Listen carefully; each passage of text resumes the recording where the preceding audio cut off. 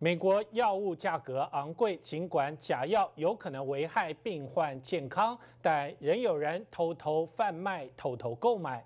洛市检察长办公室今天宣布，起诉一处位于圣佛南渡谷的假药药房，希望可以对其他贩卖假药的人起到吓阻作用。这个假药房打着杂货店的招牌来鱼目混珠，只卖药给知道门路的人。假药就藏在收银机的下方，不知情的人还以为买到真药，自己吃或给亲人服用。Through antibiotics, uh, anti-inflammatories, pain medications, and injectables uh, for vitamin injectables. 假药在市面上十分猖狂，而原因就是利字当头。So here's a vial here. and this is supposed to be counterfeit.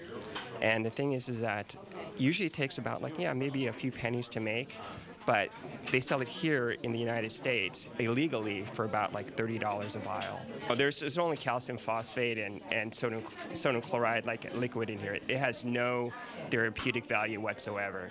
氯化钠只是盐巴里的成分，但更可怕的是假药里的其他成分。When tested from this particular source, we allege that this drug was found to contain calcium phosphate. Why is that a problem? Because calcium phosphate can cause an allergic reaction, inflammation for what is supposed to be an anti-inflammatory medication, infection, and tissue death.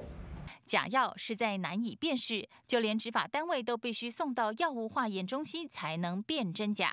而这个被洛氏检察官办公室起诉的假药房，客人多半是移民，他们贩卖的不只是假药，还包括受到管制的药物，甚至禁药。These type of medications from Central America, Mexico, and also other parts of the world, such as India as well too. 这间假药房被控有两千多项违规，每一项违规每天的罚款是两千五百美元。检方希望能够透过重罚来打击黑心假药市场。